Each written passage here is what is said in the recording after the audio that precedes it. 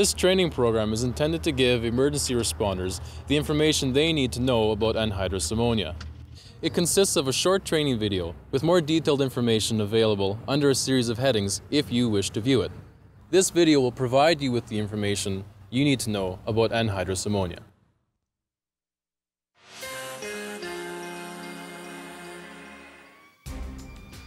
The first priority in an emergency situation is to identify the product involved. This part of the training video will tell where you may encounter anhydrous ammonia. Anhydrous ammonia is manufactured in large chemical plants. It is used in large quantities as an agricultural fertilizer applied directly to the ground with specialized farming equipment. Ammonia is used as a refrigerant, so it can be found in ice rinks, meat packing plants, and cool stores. It is also used as a building block for a variety of other products, including glues, dyes, and household cleaners. Ammonia is a gas at room temperature and pressure.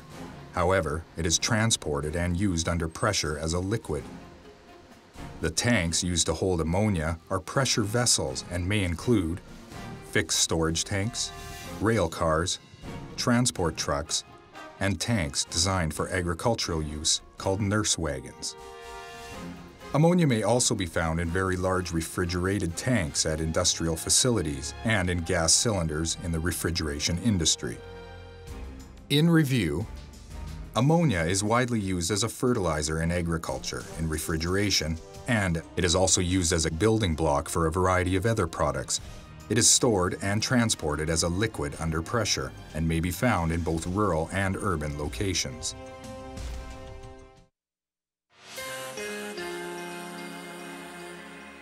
In any incident, you must be able to identify which product is involved and understand its basic properties to know how to safely respond. How do you know a vessel contains anhydrous ammonia? Anhydrous ammonia is regulated by the Transportation of Dangerous Goods Act and regulations. Under these TDG regulations, anhydrous ammonia's classification is Class 2.3, Subclass 8. The product identification number, or PIN, is 1005. All ammonia vessels must have the proper TDG placard so that anyone observing a vessel can quickly identify what that vessel contains. The words anhydrous ammonia, inhalation hazard, must also be found on the vessels. Tanks may also have wording such as caution ammonia or danger ammonia, depending on various provincial rules. The Emergency Response Guidebook provides information for first responders on initial actions to take in event of a spill of anhydrous ammonia.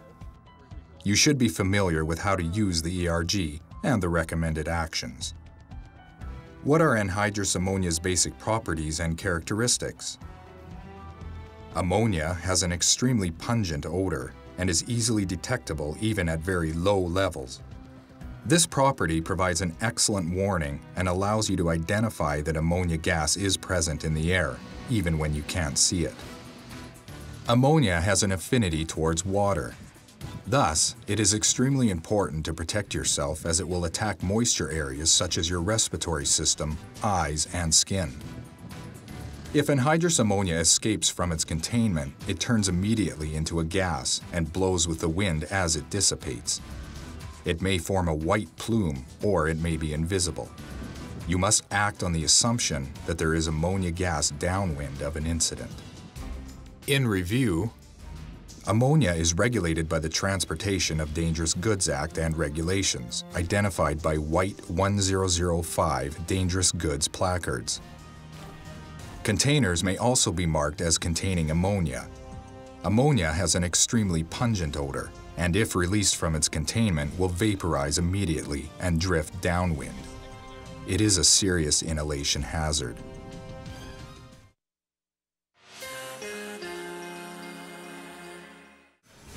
Once you have identified the product involved in the accident, your next consideration must be to protect yourself from it. The primary hazard with ammonia is inhalation, so staying out of a cloud of gaseous ammonia is vital. In high concentrations, ammonia can be deadly. Ammonia is caustic in nature and will produce chemical burns to the eyes, lungs, and skin. This type of burn is susceptible to an infection. Remember that a cloud of ammonia gas that has escaped from its containment may not be visible and will drift downwind as it dissipates. You may inhale ammonia and become a casualty if you approach the incident downwind. Anhydrous ammonia is considered toxic by inhalation, and the ERG provides a table of initial isolation and protective action distances. Refer to this information to determine the distances that are recommended to isolate and protect persons downwind. Please note that firefighter turnout gear or bunker suits is not adequate protection for an ammonia emergency. Turnout gear is made to breathe, so ammonia vapor or water contaminated with ammonia can pass through the suit and contact the skin, producing chemical burns.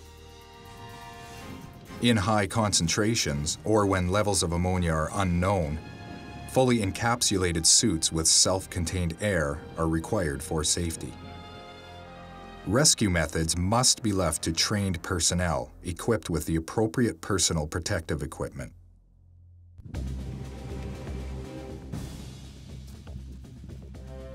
Ammonia burns must be treated with water.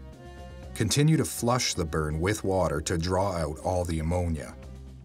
If a person has inhaled ammonia, it is essential to get emergency medical help since there could be an injury to the lungs.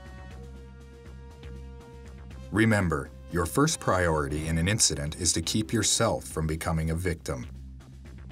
Ammonia released from its containment may be invisible and will drift away downwind as it dissipates. In review, it is an inhalation hazard and can be deadly, producing chemical burns to the eyes, lungs, and skin. Stay upwind from an incident and only enter the area with proper personal protective equipment.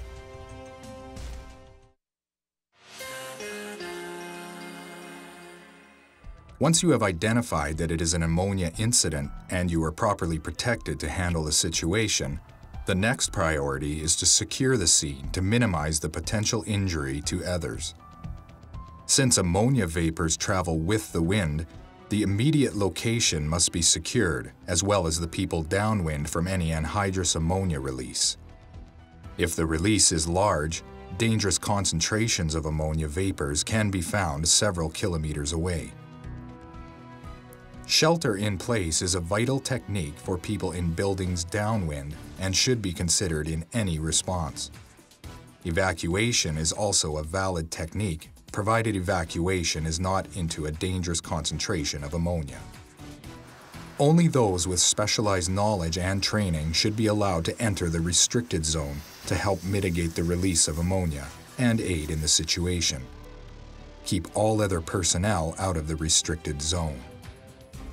In review, remember, the main hazard in an ammonia incident is inhalation, either at the scene or downwind.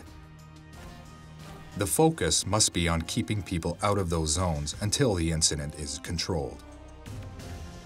Refer to the ERG, Table of Initial Isolation and Protective Action Distances.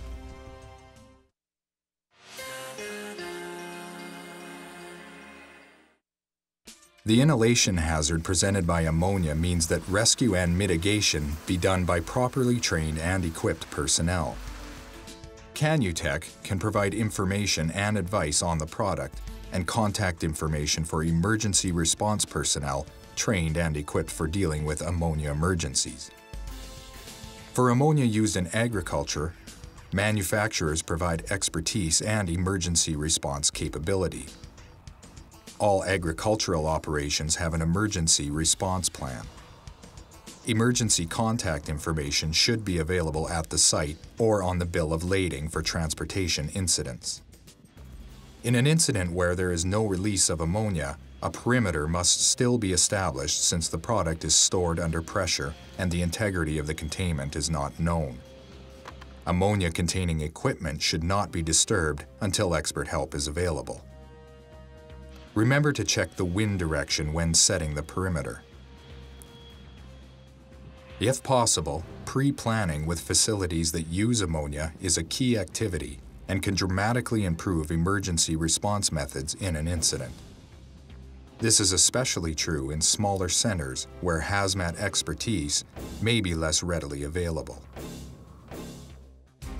In review, remember, mitigation of an anhydrous emergency should be left to properly trained and equipped personnel. First response should focus on securing the scene and initiating the emergency response plan.